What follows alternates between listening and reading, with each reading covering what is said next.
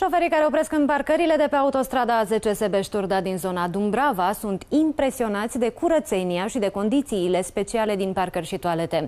Curățenia, aranjamentele florale, dar și mobilierul dau o notă occidentală acestor oaze de civilizație îngrijite zilnic de femeile, care au făcut o adevărată pasiune din locul lor de muncă.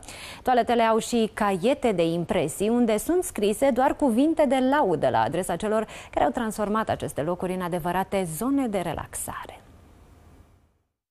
curată toaletă din România. Felicitări!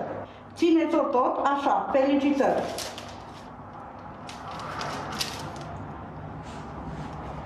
Foarte curat! Ionuț din satul mare, felicitări! Foarte curat, foarte plăcut, foarte frumos, felicitări! Se poate și la noi în România, foarte curat, felicitări, foarte frumos, felicitări de la Deva. Acestea sunt doar câteva dintre impresiile scrise de călători în cele două caiete amplasate în toaletele de pe autostrada A10. Ce v-a impresionat? Uh, ordinea, curățenia și simplitatea și ospitalitatea uh, femeii care ne-a primit aici. Șoferii, români sau străini, obișnuiți ai autostrăzilor din vestul Europei, spun că puține parcări sunt la fel de curate și îngrijite precum cele de pe autostrada A10. Opriți special pentru toaletă aici? Și. Și pentru toaletă? Pentru toaletă. Aici se curat nu am văzut pe nicăieri. Am fost și toate autostrăzi ca nu. Rodica Truță, cea care se ocupă de administrarea parcărilor de pe A10, recunoaște că este o împătimită a curățeniei.